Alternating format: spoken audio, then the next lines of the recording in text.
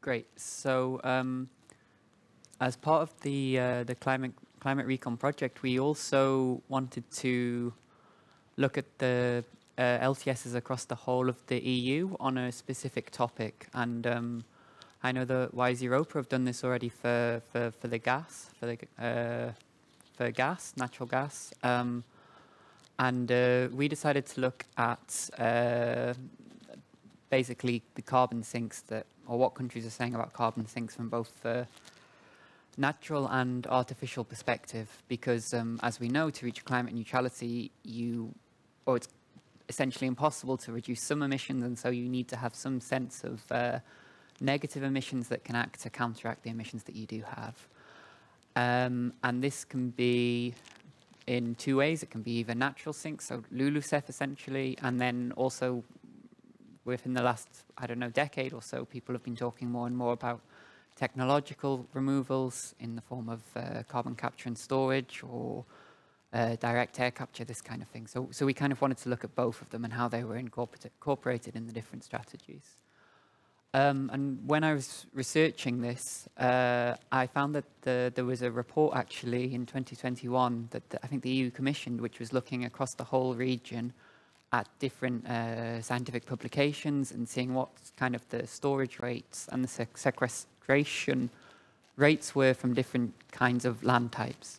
And we see um, what I think kind of probably people know or, or at least suspect is that uh, forests generally have very high sequestration rates um, and, and, wetlands have very high carbon stock rates but uh, a bit lower sequestration rates. Um, but there is quite a high heterogeneity across different regions and across different studies. So not all forests are the same, for instance, and it's not just the case that you can have uh, really high sequestration if you have lots of forests. Um, and yeah, this kind of is, is summarized, or, or what they found also is summarized here, that generally um, with... Uh, I don't know if I need the speaker to the... Gen generally with forests um, or, or, trees, then faster growing species absorb more carbon. And this is in fact something that I think it was published last year or the year before in Nature Climate Change that uh, trees are tending to absorb carbon quicker because of this CO2 fertilization, because there's more in the atmosphere, but then as a consequence of that, they're also dying quicker. So the, the long-term sink effects are not maybe as, uh, as pronounced as we could have hoped for. And um, in order to store carbon from faster growing species for a long time, then sustainable wood use in long-lived products is, is, is maybe the way that you can do that But when it comes to storing carbon in forests for a long time, then the studies tend to show that unmanaged forests that store carbon slowly generally keep it for a longer time. And what the studies also show with wetlands is that you can um, restore wetlands, but it takes quite a long time for the carbon to replenish. So in that sense, it's much better to conserve what you have than lose it and then restore it again. Um, and in the context of, of, of LULUCF and natural sinks at the EU level, uh, I'll go very quickly through this because of, of, of, time shortages. Uh, we find that emissions kind of removals cover about 10% of, of total emissions. And of course, for this to reach carbon neutrality, uh, climate neutrality, it will have to be 100%. So there's quite a long way to go. Um, and when we look at the LULUCF sector in particular, we find that it has been decreasing since around 20 or 2009, and indeed it is projected to kind of stay the same or even decrease slightly in the near future. And that nearly all of the sequestration is basically from, from forests. You can see the rate of absorption really accurately is kind of tracking the uh, rate of absorption in forests. And if you take that away, you kind of have net emissions from all of the, sub of, the subsectors apart from uh, uh, harvested wood products. Um, yeah, and this is just to show that, that, uh, that, that, there's something of a correlation between the absorption in forests and the absorption in LULUCF sectors. Um, but going beyond that, we can also say that not all forests are the same, because you can look at the case of Estonia, which has had a really high uh, land area of forests, but is now a, a net uh, emitter in the LULUCF sector.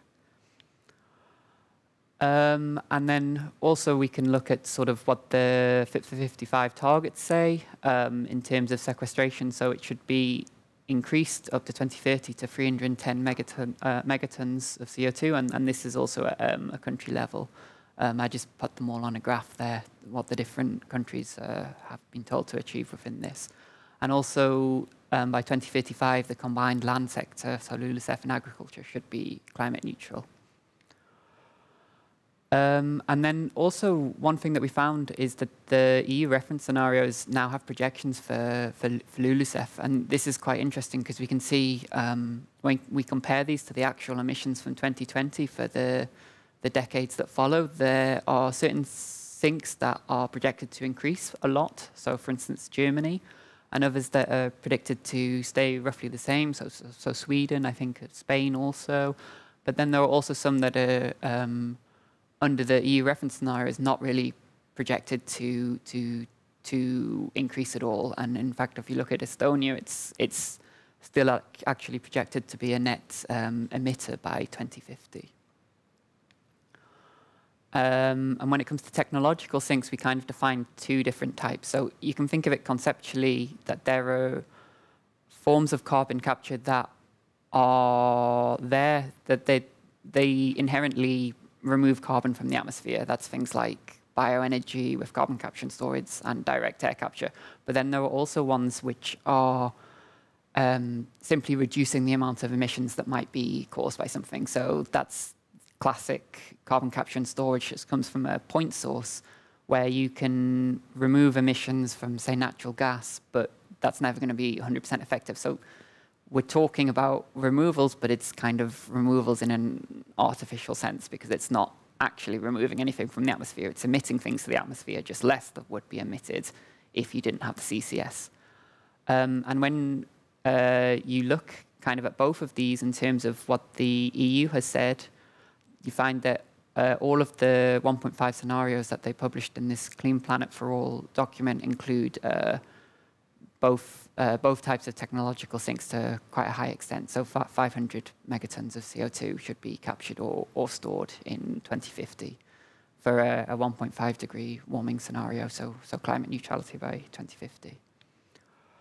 Um, that was just a bit of background. So then to look at natural carbon sinks in, in the long-term strategies, uh, the first thing we wanted to kind of do is to understand based on the targets that countries have given. So they've, they've said that they want to have climate neutrality, but they've also quite often had to have a real or implied target for the amount of emission, direct emissions reductions they want to do. So that might be a level of 85 or 90%. And then implicit to that is then that they then need natural sinks to account for, say, 10% of their emissions. So what we tried to do is see if we can estimate what the minimum sink sizes are for each country in the EU that has um, submitted a long-term strategy, and, and also the ones that haven't, in fact. So we did that kind of in as standardized way as we could. We basically took the value if they were specifying it, which was not super often, based on, uh, uh, on the most ambitious climate neutrality modeling scenario that they would give. If they didn't do that, then we would take what their reduction target was, excluding LULUCF, and take what is left as the LULUCF sink. So quite often they might say, we want to achieve climate neutrality, but we also want to reduce emissions by 90% in other sectors. So then you know that uh, carbon sink should account for 10%. And uh, if they were less ambitious than climate neutrality, then we would just add on the extra emissions. So if they said they wanted to reduce emissions, including LULUCF, by 90%, then we would add the 10% of emissions on if they didn't give any targets at all, then we wanted to still say something about those countries. And then we found that the average kind of reductions that countries were talking about was 85%. So that's what we used kind of for those countries. Like if they were to follow what other countries are doing and reduce their emissions by 85%, then their, the sinks that they would need would be 15%. So then we can at least say something about them. And for a few countries that were really comprehensive in their LTSs, they would also say the level of technological removal. So for instance, Hungary did this. And uh, we didn't really, we wanted to talk about what the size of the sink they would need anyway. So if they gave us that value, then we would add it back on. And the other thing to say is there are many uncertainties in this. The EU reference scenarios, I think, are maybe not the best thing to use as the projections of the sinks in 2050, but the reason we did is because it establishes a baseline for every country It's the same methodology for every country. So what I'm going to show is not necessarily super accurate, but it at least provides kind of a, a, a baseline or some sort of idea of where countries stand on this. Uh, and here I've just listed what the targets that we used for every country were in terms of uh, what their reductions were. So you can see for the Baltic states, they're in red, and you can see that it is pretty often the case that it's around 85% when we're looking at the targets or the modeling. And some are more ambitious, um, like Germany had a range of 80 to 95%, which is really, really big, and we, we took the most ambitious in that case. And when we did this, we can see that um, we can compare what the projected LULUCF sink is from the EU reference scenarios against what the minimum requirements would be for that country. And we can present this in a bar chart, which just shows the two bars, or we can present it as a ratio. Um, for some countries, the projected LULUCF sink is going to be always projected to be positive in 2050. So then instead of doing a ratio, we uh, use the magnitude of the difference between the two sinks and then use that as the numerator in the ratio. Um, and you can see that there's really, really big differences between different countries. So Sweden and Finland, the projected LULUCF sink is going to be bigger than what they require for climate neutrality. But on the other hand, you have Estonia, which is really, really far away because the sink is projected to be a net emitter still in 2050.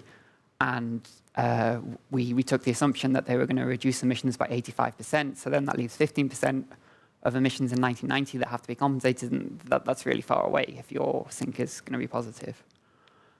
Um, and then we could kind of group countries into three different categories. So the on-track ones are the ones where the size of the projected sink is bigger than what they would need to do to achieve cl climate neutrality. And there are only three countries that fall into that category.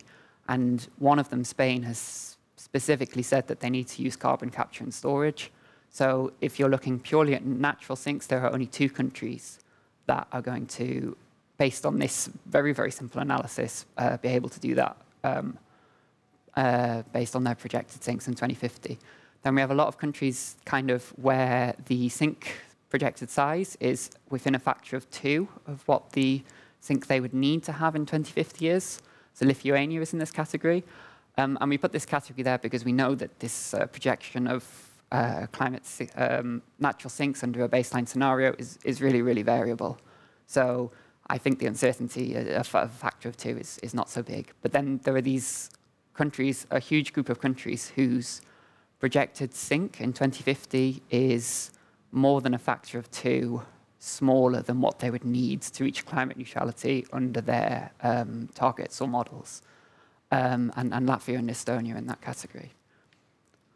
Um, yeah, so I kind of put these together. Um, and of the countries that are really far away, you can kind of think of them as in three different categories. You have small, densely populated countries like Malta and Belgium who say in their long-term strategies that they don't have much room for afforestation. Um, and it's really difficult to know how countries like that are going to reach climate neutrality unless they use uh, technological uh, solutions because they don't really have much option to increase their natural sinks, but then at the same time, they're still saying that they're going to have outstanding emissions of 10 or 5 or 15 or 20% in 2050. Then you have countries like Estonia and Latvia um, who have more potential, I would say, to increase the size of their carbon sinks because they have lots of forested land, their population densities are a little bit lower, but their sinks are projected to go the wrong way. So it's more, there's more potential there. And then you also have countries in a third category, like the Republic of Ireland or Denmark, whose sinks have essentially since 1990 always been positive. And again, within their borders, if they're targeting a reduction of 85%, say, in uh, emissions by 2050, it's really difficult to understand how they are going to, again, reach climate neutrality um, without relying quite significantly on technological uh, solutions. Uh, and then we, having done that, looked more at what they are actually saying in terms of the LULUCF sectors. So kind of you could group how they've incorporated this into three different uh, groups. So you have countries that are talking about LULUCF as a separate sector, which is the majority.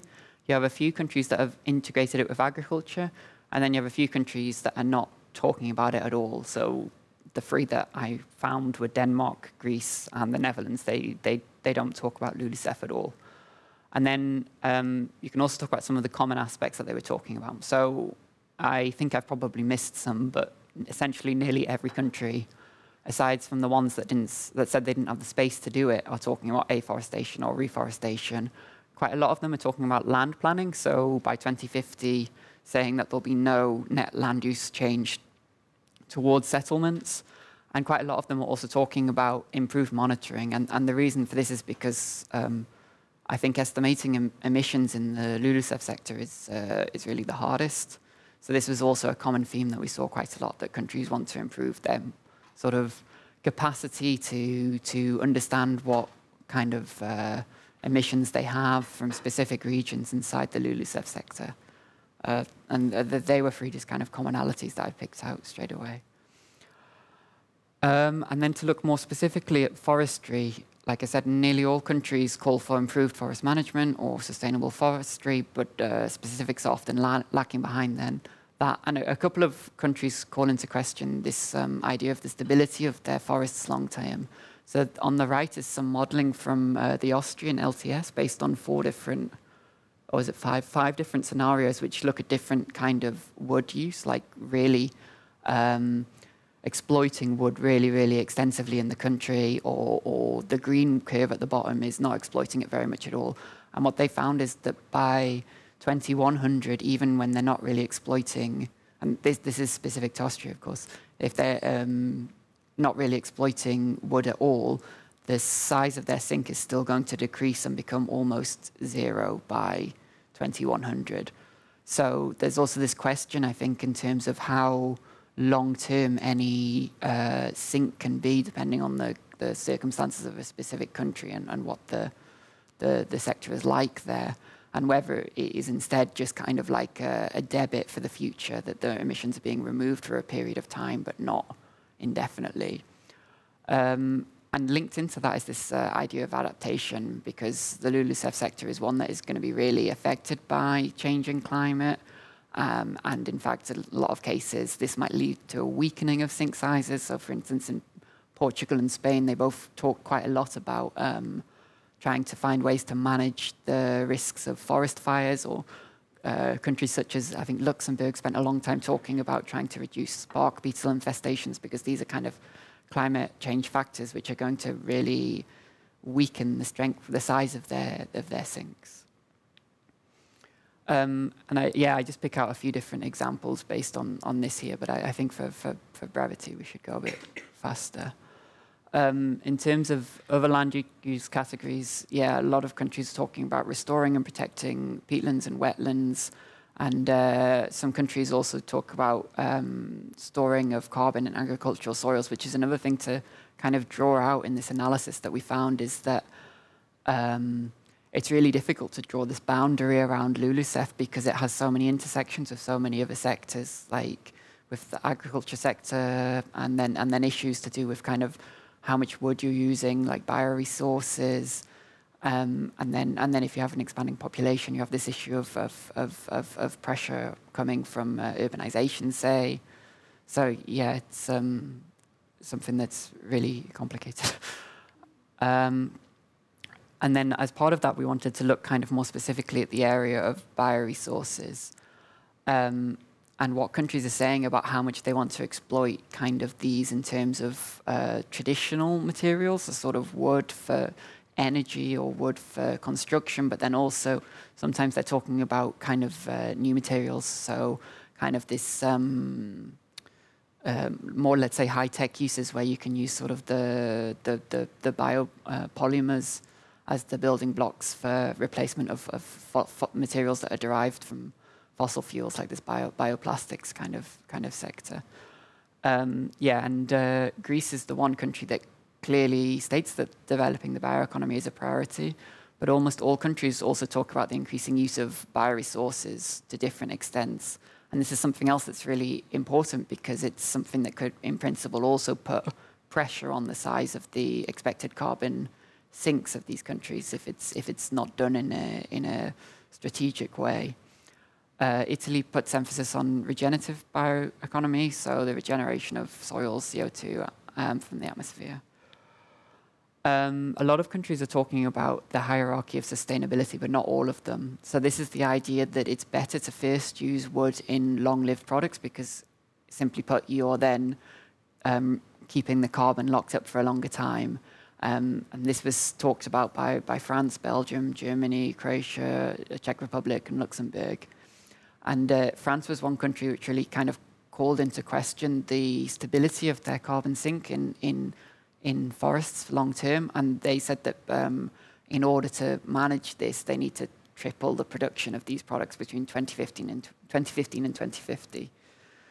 Um, on the other hand, Greece was a country that we really noticed is really, really talking about the use of um, bioresources for any energy production. I think um, they stipulate how much land use they want to use for this.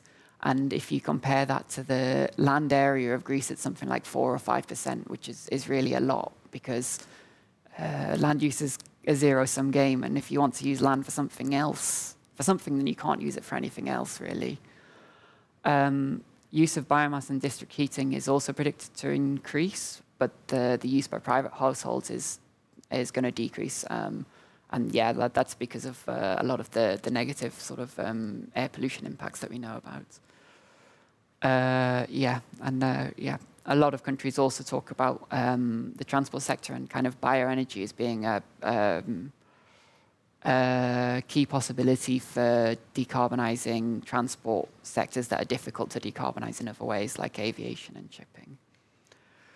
Um, and yeah, then to come on to the conflicts, um, developing of the bioeconomy does often resu result in greater land use, and then that land can't be used for anything else. So the Czech Republic says that uh, there is potential for 680,000 hectares of arable land and 400,000 hectares of permanent grassland for biomass. Uh, Denmark plans to simultaneously increase the share of forests and bioenergy-based electricity production, and Italy says they want to fully exploit the potential of biomass while emphasizing the importance of sustainable forest management. So the kind of quite a lot of these um, conflicts in the strategies, which uh, might cause problems in the future if they want to, on the one hand, increase the use of bioresources, and on the other hand, maintain the size of the, the carbon sink. Of, of course, these things don't necessarily have to be contradictory, but they, they can be contradictory, I think. Uh, and then we also looked at the, the technological carbon sinks in the national long-term strategies, which are included in a few strategies to quite a great extent, and others not so much so. So um, this map I showed is basically our assessment of uh, how promising uh, or otherwise countries see uh, carbon capture and storage and carbon capture and utilization. And you can see actually, I think half or just over half of the countries um, are either stating directly or implicitly stating that they would like to uh, use these technologies or develop an infrastructure by which they could use them. And then you have other countries um, which are not stating that, but are stating it a bit more ambiguously, like they would potentially like to use them, uh, but they're, they're not sure. And then in terms of countries that are quite strongly against. Uh, there was only a few of them that we could pick out. So Latvia say in their strategy that they, they, they don't say directly that they don't want to use these technologies, but they say that uh, there's no capacity for carbon storage in Latvia in a cost-effective manner. So based on no, other, no additional information, we concluded that, uh, that they're not planning on using it. And Portugal, I think, are another country that came out really, really strongly um, against the use of uh, CCS and CCU. Um, and when we look at the industry that countries are talking about using this for, it's uh, yeah mainly cement and steel, which uh, is obvious. I mean, these are these are very difficult things to de decarbonize. Um, and then I've just highlighted again uh, what a few different countries are saying about this. So Hungary is quite pro CCS, and they actually included in both of their neutrality scenarios a high use of uh, CCS post 20 mainly post 2040, but a little bit in 2030, to uh, reduce by 10 megatons um, uh, carbon that would be uh, emitted. and they actually also specify which different sectors they were going to use that for, and to some extent they specify what they will use the captured carbon for. Um, like we've talked about, the Hungarian strategy is actually really comprehensive. Portugal, on the other hand, also spend quite a lot of time talking about these technologies, but they're quite strongly against it because they don't see it as very cost effective and the only um, sector that they could see it being used for in their country is cement but they think that by 2050, the cement sector would have changed so much anyway that, it, that it, the impact of it won't be very low. Uh, finally, France talk about using it a lot for storage rather than utilization, um, and they give specific values for the storage that they can use, uh, which I talk about in the next slide, that a lot of countries are talking about wanting to use these technologies, but they um, are not sure yet or haven't done the analysis as to what the capacity they will have in their country is. There were only, as far as I could tell, three um, explicit values from countries where they stated this is what we think our capacity for carbon storage is. And that was Austria, France, and Greece.